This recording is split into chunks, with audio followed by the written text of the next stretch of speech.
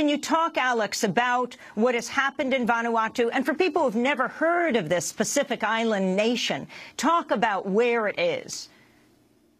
Okay, so Vanuatu is a um, country made up of um, eight, of 80 islands, 65 of which are inhabited. It's in the Pacific, South Pacific Ocean. It's probably about three hours flying time directly east of the east coast of Australia.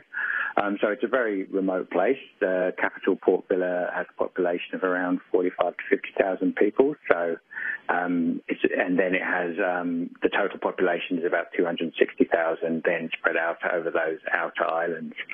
Um, so, so yeah, it's it's it's a it's a small country with spread out um, over a large space, um, and it has um, yeah major sort of logistical um, issues at the best of times in terms of trying to get people and supplies out to those islands. So obviously, um, with this massive cyclone, um, those logistical challenges are, are, massive now in terms of trying to organise getting the relief and supplies to the people outside of Port Vila.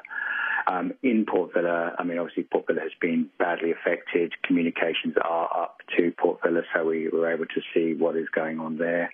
And we're seeing sort of 80 to 90% of buildings damaged. And in the sort of poorer shanty town areas of Port Vila, we're seeing massive destruction to, to homes.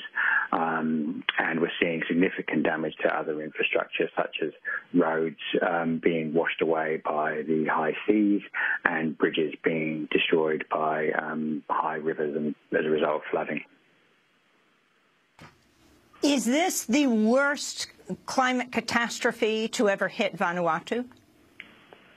Um, certainly in living memory, there was a, a, a large cyclone in 1987 um, that did cause significant damage to Port Vila, but um, my understanding that this damage and this event um, far exceeds that. Um, Vanuatu is a very disaster-prone country. The UN has it at the top of the list in terms of the most uh, uh, the country that's prone to most natural disasters. Um, so in my time there, I was there for four years. I experienced um, many very large earthquakes, um, tsunami warnings, and a couple of cyclones, but nothing um, at this scale. And how has Vanuatu prepared for something like this? When you were Oxfam director in Vanuatu, you worked with them on disaster preparations. Sure. Yeah, so there's been a big investment in the past four years. So um, uh, that's by government um, and also by the um, non-government agencies as well. So we formed a group called the Vanuatu Humanitarian Team, which is a coordination body for those non-government agencies, um, in order to improve the way that the country is able to plan for and respond to disasters. And there's certainly been a radical um, change and improvement in the country during that time. Um, and a lot of investment in that, that, disaster management capacity at a national level, and also um, NGOs such as Oxfam um, and others have been working and supporting the disaster preparedness action at a community level as well. Um, and, and, we are seeing the benefits of that now during this cyclone event, the speed in which the system kicked into action within, you know, a matter of hours of the cyclone. Um, meetings were being held, plans were being made in terms of um, water and sanitation, food, um, logistics. Um, so, you know, this is definitely, that investment in preparedness is definitely paying off now. Um, that said, this disaster is so massive, it's going to stress, stretch the capacity of any, any system, and the international assistance that now is coming in is, is very needed um, and very welcomed by um, the Vanuatu government, it seems, and also the, the Vanuatu people. Um, and that assistance needs to continue um, in order to support um, the Vanuatu people with this recovery. On Sunday, the Australia announced a support package for Vanuatu, where you are now, Alex, in Australia. This is Australian Foreign Minister Julie Bishop. Today I can announce that Australia will be making an initial life-saving support package available to Vanuatu in response to a request from the government. This package will include $5 million that will be provided to Australian NGOs, particularly the Red Cross and to other United Nations partners. Uh, we will also be deploying humanitarian supplies to provide support for up to 5,000 people in the form of water, sanitation and shelter. That's Australian Foreign Minister Julie Bishop.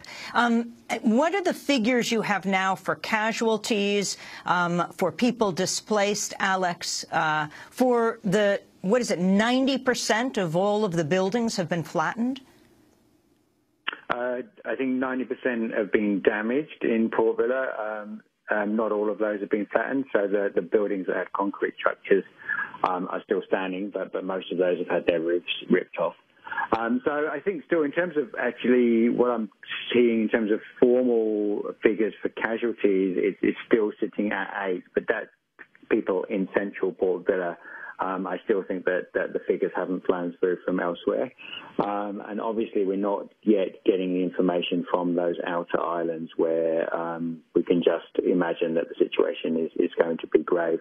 There has been some now some initial, first initial assessments to Tanna Island, which is the, the major island in the south that was directly hit, um, and some, some aerial surveillance work there and that is painting quite a grim picture in terms of devastation to the housing and to the infrastructure, and and um, anecdotal reports of people saying that they're lacking, you know, um, food and and health facilities and those sorts of things. So.